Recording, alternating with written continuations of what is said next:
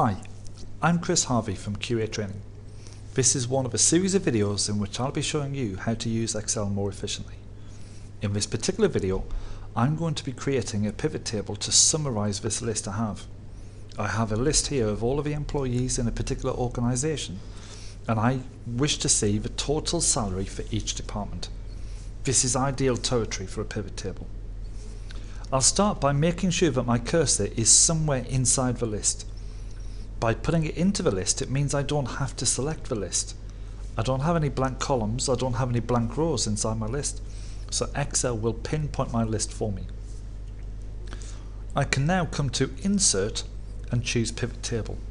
Just a quick note, in Excel 2007 and 2010, Microsoft positioned the Pivot Table command under the Insert ribbon.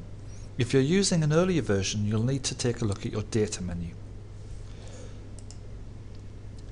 Again, Microsoft uh, streamlined the process significantly in Excel 2007 and 2010. It is much easier to create a pivot table in the more recent versions of Excel. The dialog box here is asking me for the location of my list and you'll see the flashing outline.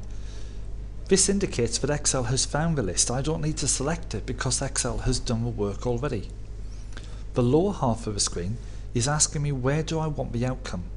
Do I want it on a brand new worksheet or do I want it next to my existing data?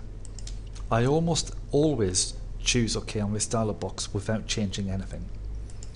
That gives me a blank dialog box. From here, I get tick boxes for each column in my original list. I can also choose where I want the information to go in these four panes down here. If my objective is to work out the total salary for each department, I'll start by ticking the department column and adding that into my pivot table. Excel scans down that original list and comes back with a list of unique values. If I need to see the total salary for each department, then the next step is just as easy. I simply tick salary and Excel adds a new column telling me the sum of salary for each of those departments.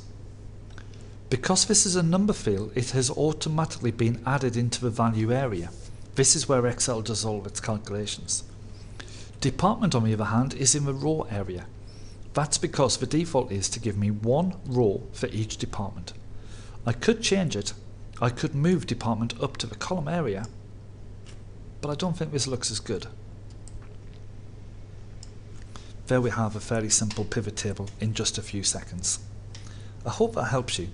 For more information on how QA training can help you become more proficient in Excel, please click on one of the links below.